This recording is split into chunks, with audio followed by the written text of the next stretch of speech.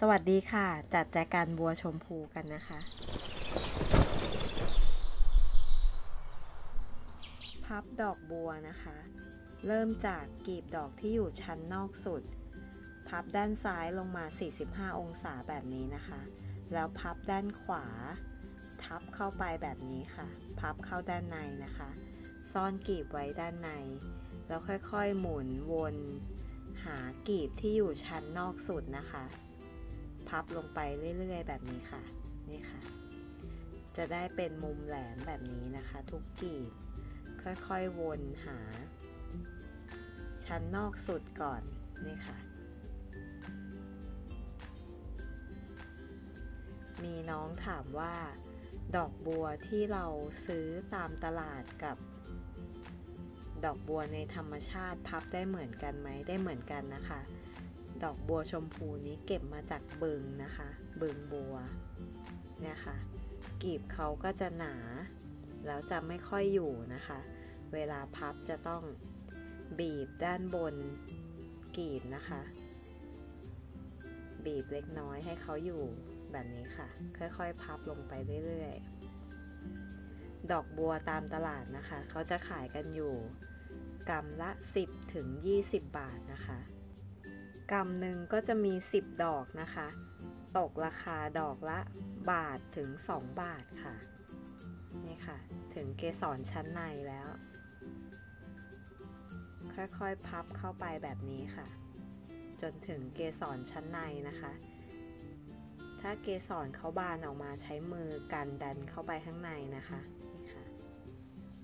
ใช้สองมือช่วยกันค่ะ ถ้าเราไปหาซื้อบัวในตลาดนะคะ บางทีบัวชมพูนี่จะหาซื้อได้ยากกว่าบัวขาวนะคะนี่ค่ะถึงเกสรด้านในแล้ว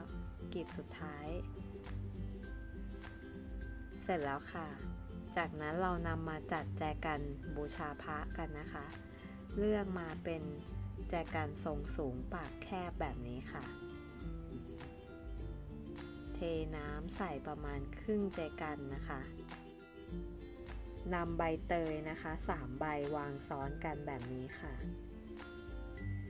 แล้วนำฝักบัวเล็กๆนะคะ เก็บมาจากเบิงวางที่ชั้นบนสุด ใส่ดอกบัวดอกที่หนึ่งนะคะ ให้ต่ำลงมากว่าฝักบัวเล็กน้อยค่ะแบบนี้ค่ะ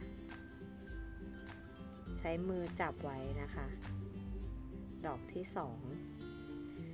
ถ้าเราไม่ได้เย็บแม็กหรือมัดไว้นะคะ ก็เราต้องใช้สองมือ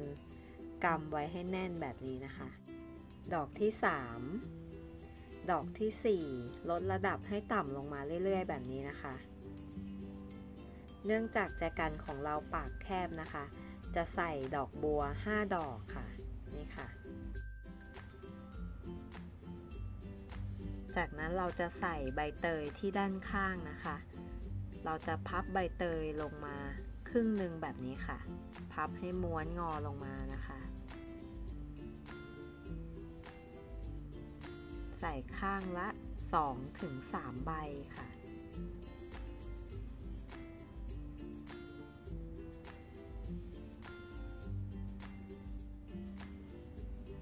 ใช้มือกำไว้ให้แน่นนะคะ นี่ค่ะ ใส่อีกใบหนึ่งนะคะ ค่อยๆม้วนลงมาแบบนี้ค่ะ จากนั้นเราหาตอกหรือว่ายางนะคะ มามัดให้แน่นค่ะ ค่อยๆใช้ยางวงนะคะ มัดให้แน่นแบบนี้ค่ะ จากนั้นนำกันไกมาตัดก้านใบเตย ก้านบัวด้านล่างนะคะ ตัดให้สั้นแบบนี้ แล้วใส่ในแจกันค่ะ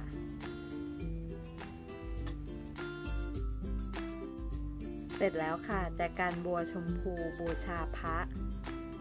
ถ้าชอบกดไลค์ ใช่กดแชร์ กดติดตามแล้วอย่าลืมกดที่ปุ่มกระดิ่งเล็กๆด้วยนะคะ จะได้ไม่พลาดคลิปใหม่ๆจาก DIY ง่ายนิดเดียว วันนี้ขอบคุณค่ะ บ๊ายบาย